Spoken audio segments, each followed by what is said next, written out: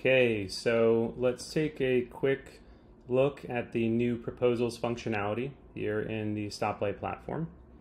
The intent of proposals is to give you a screen that surfaces all of the API design and documentation in-flight changes that are already occurring across your company, your workspace, your organization, across your teams. And it does that by watching all of your Git connected projects, watching the branches that are created, the pull requests that are created, and identifying if there are any uh, design or documentation related changes in those branches and pull requests, and surfacing those branches and pull requests here on this proposal screen for you to then dig in uh, to the actual set of changes, which we'll look at in a second. So you can see here, there's already a couple of uh, a couple of branches and pull requests that have been surfaced here related to documentation, but in this workspace. But first, let's just go create uh, a new change so we can see it kind of working from scratch. And then we'll look at what the actual proposal screen looks like. So we'll do it over here in this Studio Playground project. Uh, you can see it just has two, two APIs, a couple schemas. We'll go ahead and we're going to add a property to the address schema, country, just to see how that ends, ends up getting picked up and represented uh, by the proposals functionality. So we're going to go here into Studio. We'll create a new branch for our changes, creating off the master branch. Uh, update the address schema.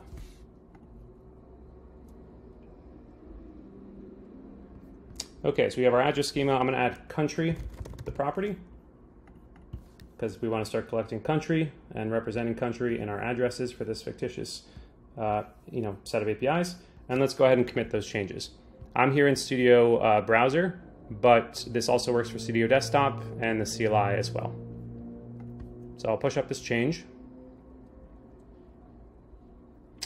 And let's see how this change is represented when we create a pull request in our, in our version control system, which is how many folks uh, today kind of review uh, and try to digest and understand what the changes are to their design and docs. So I'll go over to GitHub. I will refresh here. Here's our branch that we just created. I'm going to create a pull request. Um, just give it a title, add country to address, and I'll create it here in GitHub. Okay, so here's the formal review process that we can go through with the team. Uh, this obviously works for GitLab, Bitbucket, etc. They all have similar functionality with pull requests and merge requests. And I could see the one file that I've changed, right? I changed this model's address file to add a country property. From just this, though, it's difficult to understand what the impact on my API is uh, from this change to the schema. If we go over to stoplight though, let's go over to the proposals list again, and I'll refresh. Here we see it's picked up that change to the Studio Playground Redux project, add country to address. It's in review because there's an open pull request.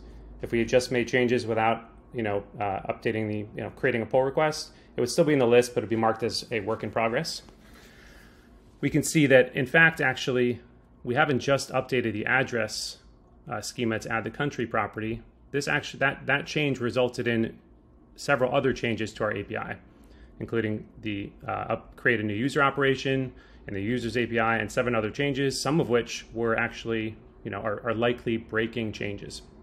So if we go look at the actual proposal screen, this screen is meant to give you and your team uh, a place to better understand the impact of the changes to your design and documentation and, and facilitate you know, discussion or review of those changes prior to the approval in your VCS and the merge of those changes in your project.